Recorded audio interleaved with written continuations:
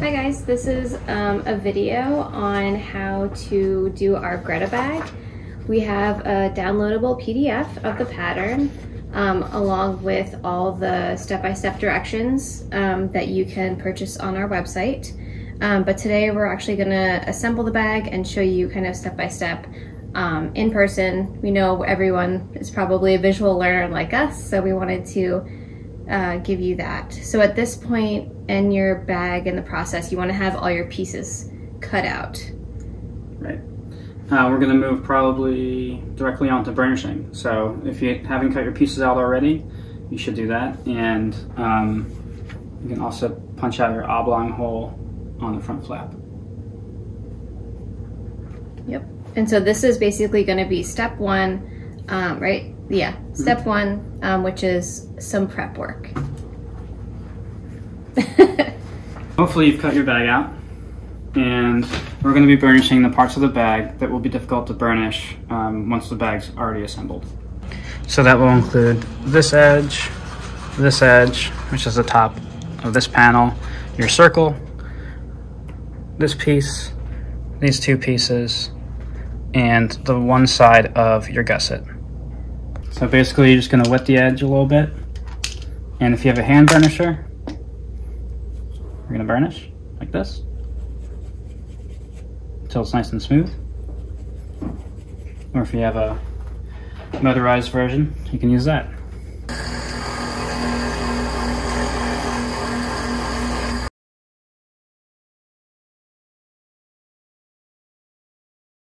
So there are two differences um, in what I'm doing versus what you've downloaded in the pattern. Um, I have a smaller circle, which uh, uses a different magnet, but I'll show you how to do the one in the pattern that you downloaded. And I have twice as many pieces because I'm doing two Gretas at the same time.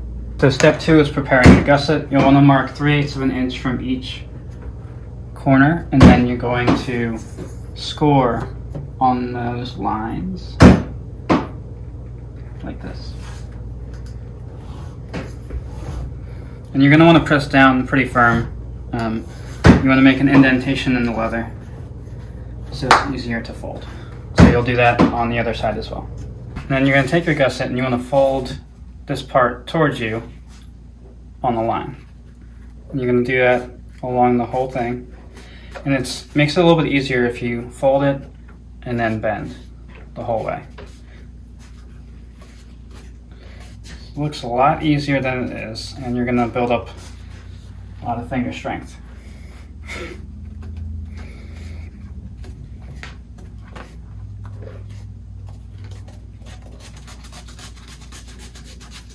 And I find that it's easiest to start right in the middle and then go to each edge.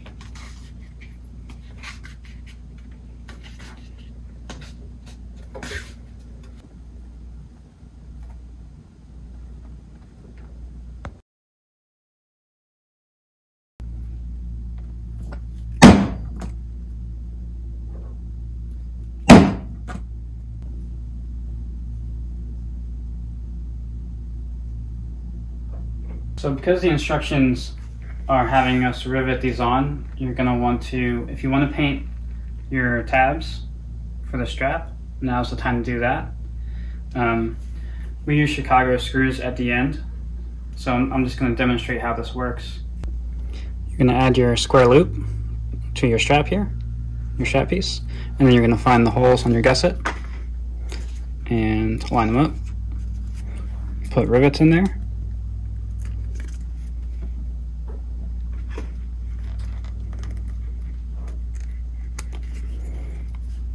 And then you'll rivet that, and you'll do the same thing with the bottom hole.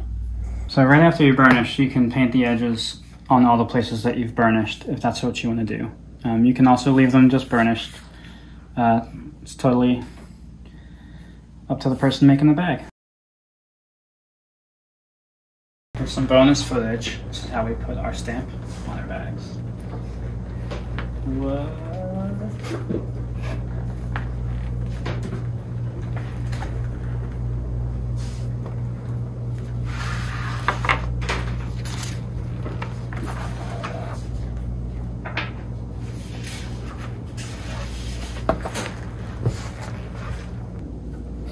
So now you'll just want to cut the slits where you marked when you cut your pattern out for the magnet.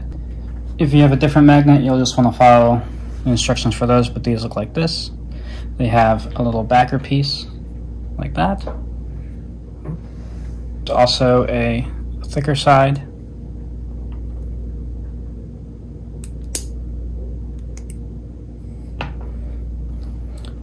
So the thin side goes on the top panel, and then the thicker side goes on the body panel. So put those through, put the backer piece on.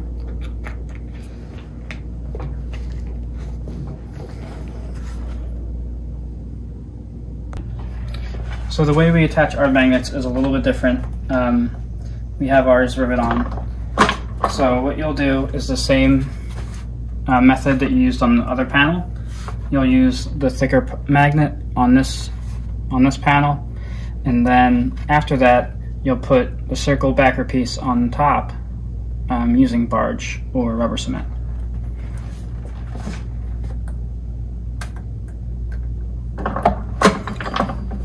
At this point you can attach this semicircle piece to your back piece.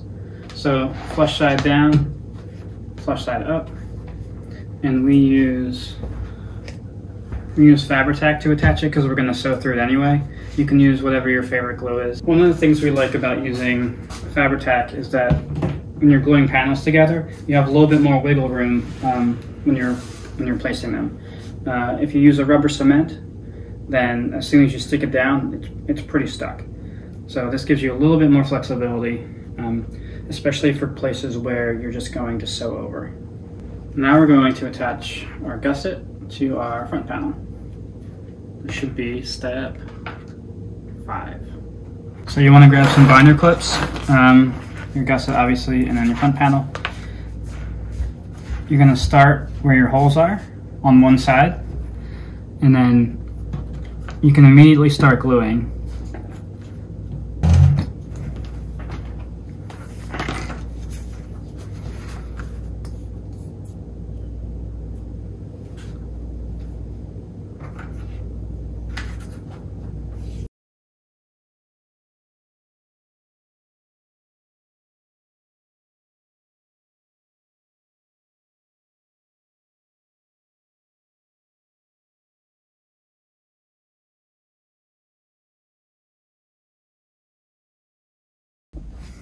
So at this point, you're about three quarters of the way clipped up and glued. Um, you'll want to then mark. This part is not glued yet, so you'll want to then mark where it comes up to, and that'll be the end of your gusset. And then once you cut that straight across, you can then use your pattern piece to, to punch the holes in the other side. That way your gusset will fit every time because this is a little bit longer and then you cut it to fit.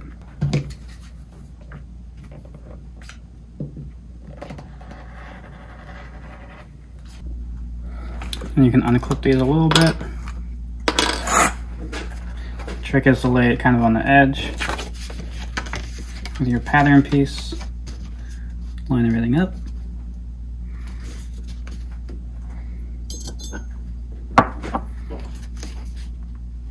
Mark your holes, and punch them.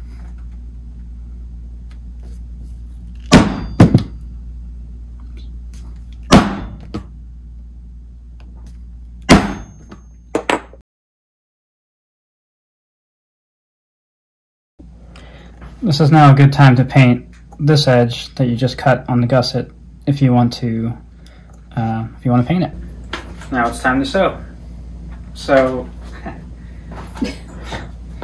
always run a test strip through your machine before you start your project. Pro tip.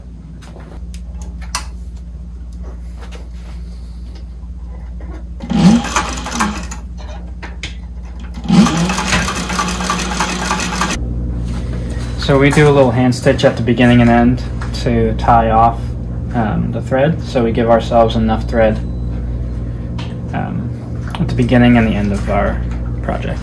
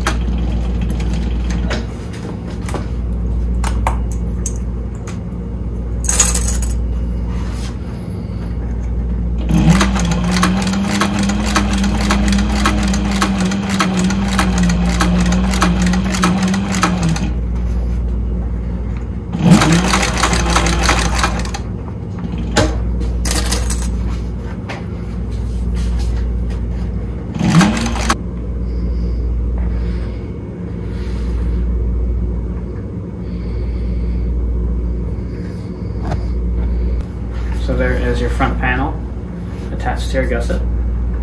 Um, and then we leave these little dangly pieces, these threads, and then we'll we'll sew them.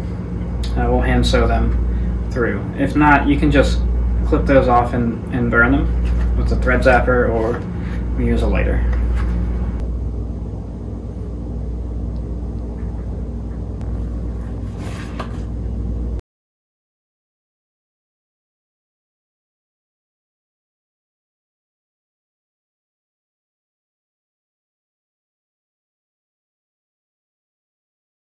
At the end of the top panel here, I always just hand kind of like whip stitch around the very top just to kind of finish it off. It makes it look a little bit nicer um, and just adds a little bit of strength to that piece. So now we're going to be doing some of the punching and hand stitching that goes around the oblong hole on the back piece. Um, you don't have to do it right now. I actually typically do it later in the process, but I do think this is probably the easiest time to get that done. Little quick tip. One thing you can do um, is use this wing divider to mark off the top and bottom of the oblong shape in order to get your stitches um, perfectly spaced around your oblong hole. Now I'm going to start marking off the holes to hand punch. Um, I always start by making marks with this and not actually punching through just to make sure that I'm spacing everything out correctly.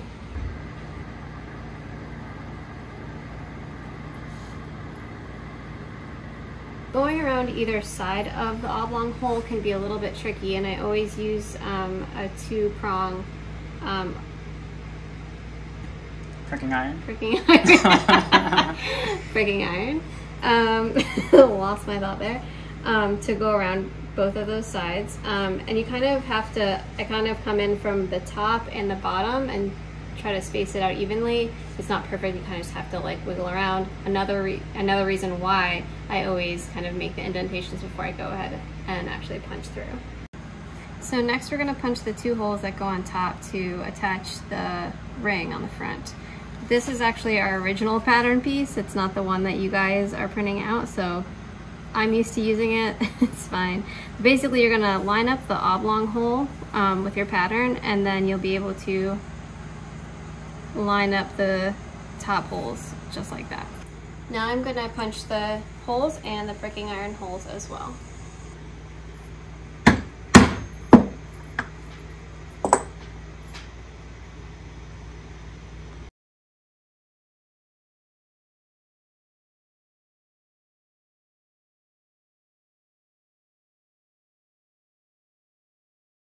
Okay, so I'm actually gonna hold off on stitching these until the bag is fully sewn together. I'm just most comfortable doing it that way, but you absolutely could go ahead and hand stitch at this point if you wanted to. So next what I'm gonna be doing is actually flipping this piece over and putting some marks on here to indicate where the front um, gusset, the gusset and the front panel are gonna get attached so we can line that up correctly.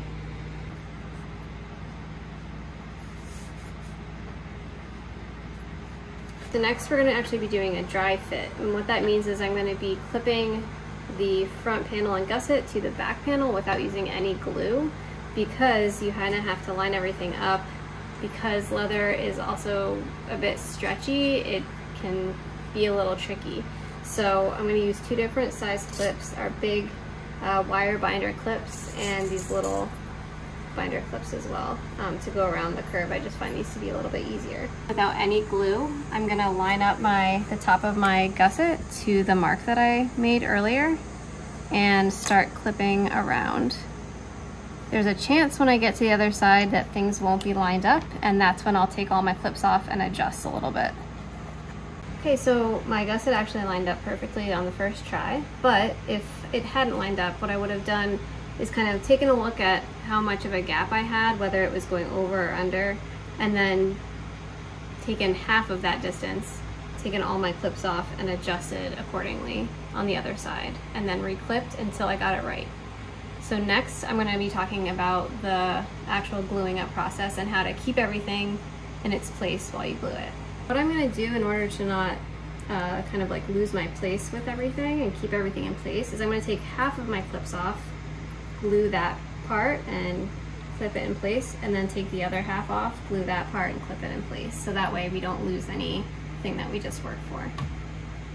Uh, one quick tip, you always want to make sure you don't miss a spot with the glue.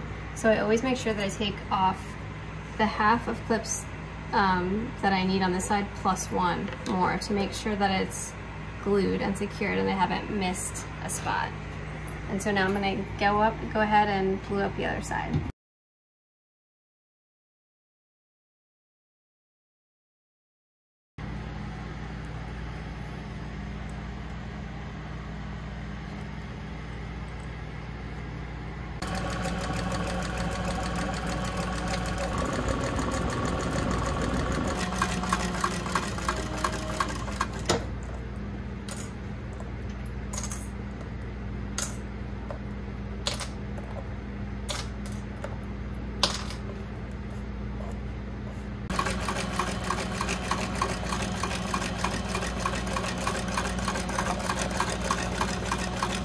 one quick tip about going around kind of a tighter turn like this. When you go to sew around it, you're gonna wanna angle the bag up. It's gonna create a bigger gap between the bag itself and the actual cylinder arm of the machine, and it'll be easier to get around that tight curve.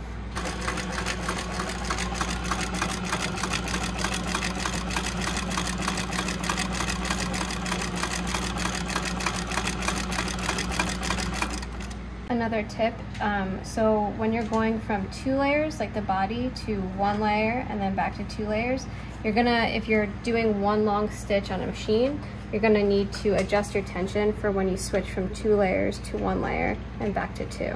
So you'll see me do that.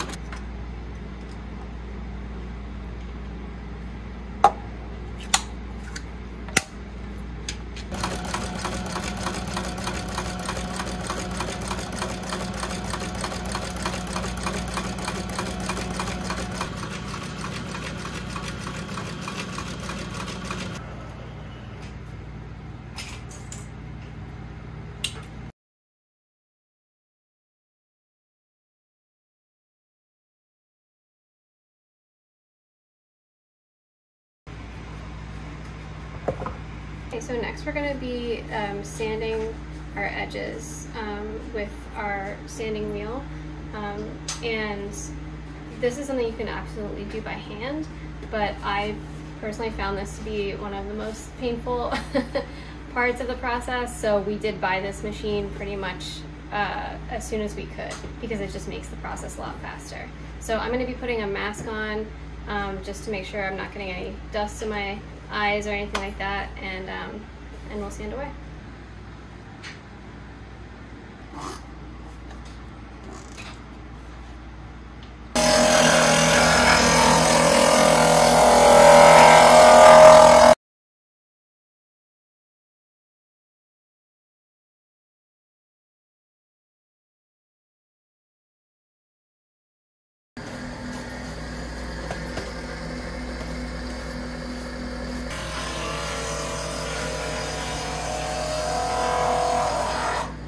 So now that we've sanded our edges, the next step is beveling. Um, when you sand the edges flat, you end up with a lip that runs all the way around your edge. And so the idea is to cut that off with a hand beveler. Um, the one that we use and love is Palo Santo. Um, it's the One Plus. Um, this thing just cuts like butter.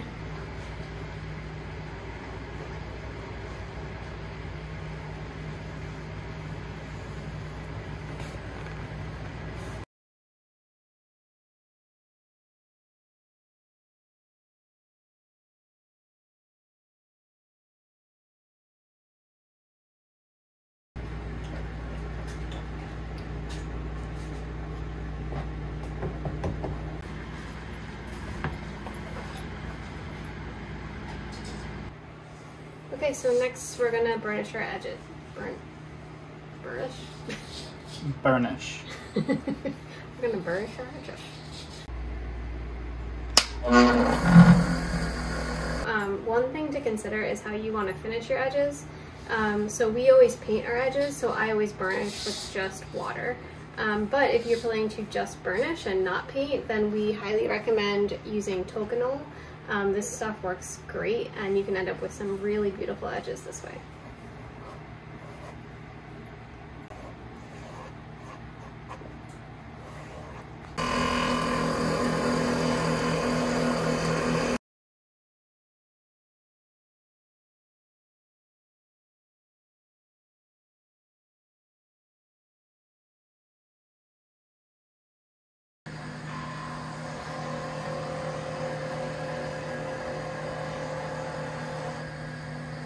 Next we're going to do the hand stitching that goes around the oblong hole. Um, you could sew it with the sewing machine. I always prefer to hand stitch it just because it's such a tight um, area and I just always want it to look really good since it's kind of front and center on the bag. Um, so let's go ahead and do that saddle stitch. Typically when you're hand stitching you're probably going to be using a wax thread but because we um, sew all of our bags with bonded nylon I always do this stitch um, with bonded nylon as well. And one little trick I have for keeping the thread on the um, leather needles is to just burn a little ball at the end um, and that'll kind of keep your thread from falling off as you pull through. I always like to start um, right underneath the two holes for the rivets.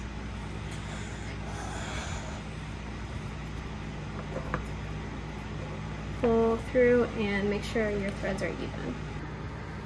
So saddle stitching is all about the kind of the rhythm of your stitch and making sure to do it the same every single time. Um, there are some really great YouTube tutorials on how to get that perfect stitch, so I highly suggest looking up um, saddle stitching uh, before you go ahead and do this part.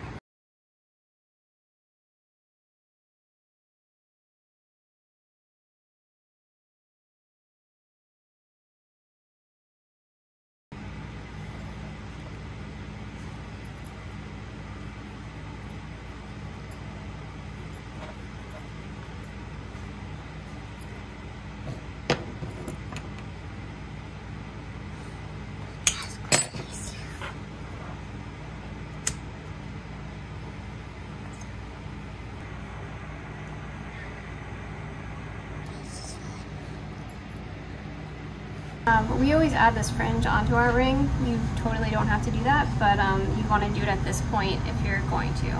Um, you can either leave it blank or add whatever you want. Okay, now it's time to rivet our ring in place. So you're gonna put the little tab around the top of the ring and open your bag up. And you're gonna feed it through the top and then line your holes up so um, we're gonna rivet the first one on. So you can absolutely buy and use a hand riveter set if you want, um, but we have this press um, that we've actually rigged up with a, a, foot pedal to make it even easier for me. I'm really short, so it's hard for me to get the leverage.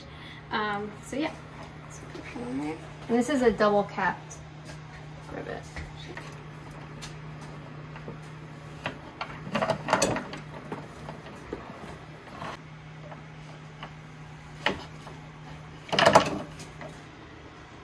there you have it. Now I'm just gonna trim this off.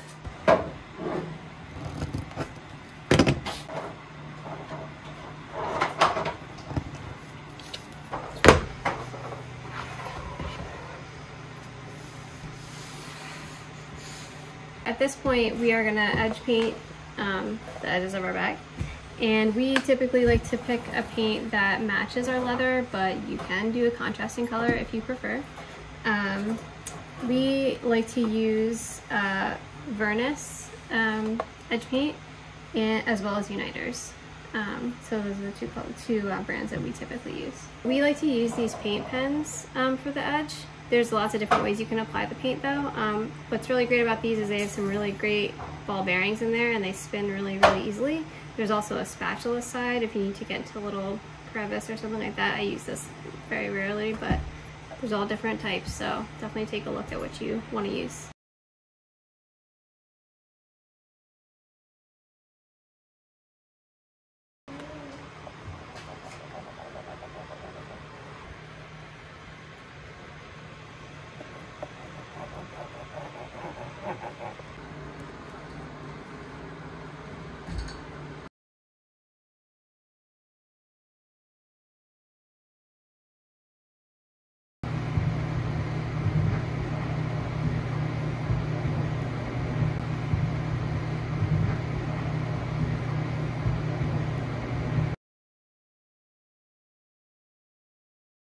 We are going to um, attach the square loops.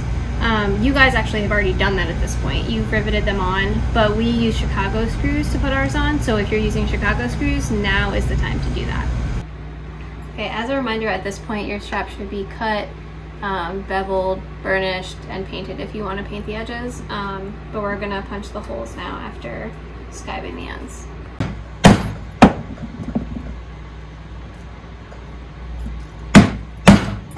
We're going to be assembling the strap. I know that in the directions this is probably the most confusing part. It was very difficult for me to write it out um, with words so I'm hoping that this part of the video will help you if you're trying to do a sliding adjustable strap which is what we usually do. Um, you're also totally welcome to do a regular buckle strap or a button stud strap um, or just a plain solid strap that doesn't adjust at all. But you're going to start with the straps laid out just like this and then take one end and fold it in half to line up your rivet holes. Take that bent piece and lay it on top of the flesh side of the other strap. So you got flesh side on top of flesh side just like this. Next, you're going to take your tab and slide it through that bent part that you made and take the entire thing and flip it over to the back side. This part is very important. Um, basically what we're going to be doing is sizing the loop to fit very snugly. The leather will eventually um, stretch a little bit with wear and soften, so this has to be tight in order for the strap to hold um, the size that you choose.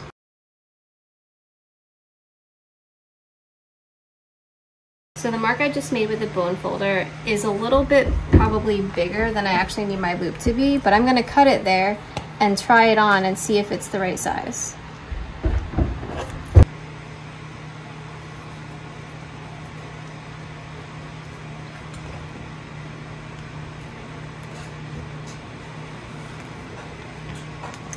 It's a little bit big, so I'm gonna um, trim that down.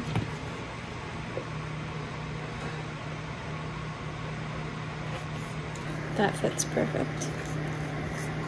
So we set that tab, tab aside, and now we're gonna do the same thing on the other side. So now this piece that's lined up on the bottom, folding that over. And now we're gonna fit this tab onto the front. The reason why I size each tab on their own is because leather is a natural product and sometimes it can be just a, a little bit thinner, a little bit thicker in different areas. Also, we've skived the ends of our straps and maybe we skived one just a little bit thinner than the other, that sort of thing. So you always want to size each tab to the strap that you're working with.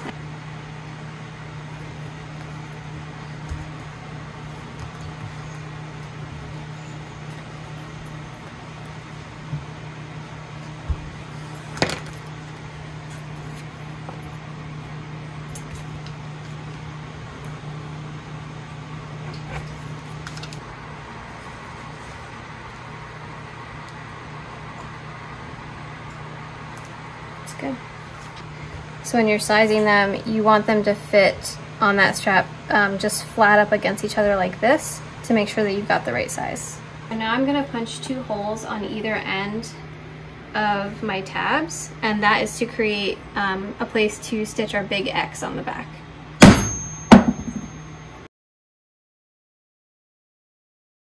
Now we're going to sew the loops together. Um, I prefer to do an X on mine, but you could do a square, you could do two stitches, you could even staple them if you have that. Um, but yeah, just closing the loop.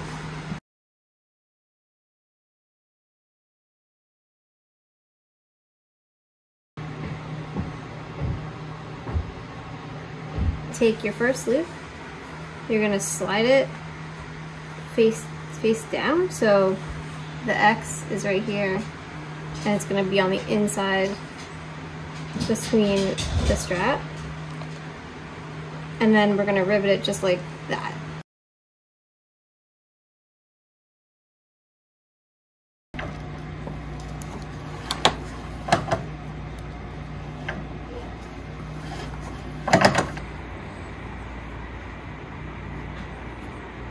You're going to take the strap that has the riveted loop on it, turn that on its back, take the other strap and you're going to slide the one end through.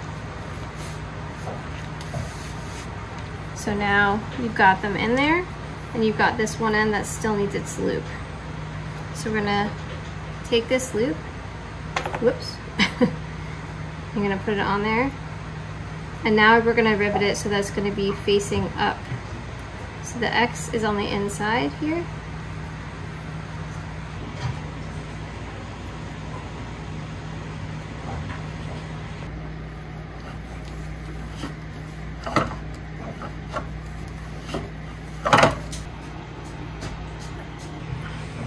You're going to take your loose end and slide it through the remaining loop. On the end, it should look something like this. You can see it can slide to adjust to pretty short to pretty pretty long um, and fit lots of different um, sizes. You attach your strap to your bag and you're all done.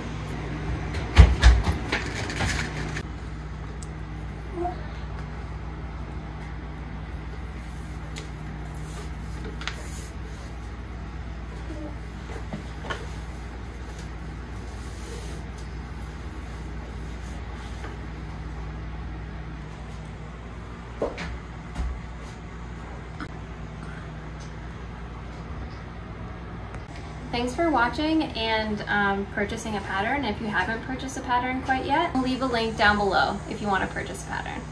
So we hope to do more of these in the future, so please let us know what patterns you'd like to see. Ship it out. It's done. Ship it.